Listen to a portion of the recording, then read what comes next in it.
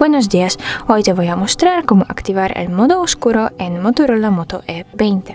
Para hacerlo vamos a la aplicación Ajustes y buscamos, eh, buscamos pantalla, abrimos esta pestaña y aquí aparece tema oscuro o la luz nocturna, pues vamos a elegir tema oscuro y si queremos activar este, eh, este modo pulsamos aquí y ya el modo oscuro o tema oscuro pues es lo mismo, está activado. Para desactivar este modo tenemos que pulsar otra vez y ya está desactivado.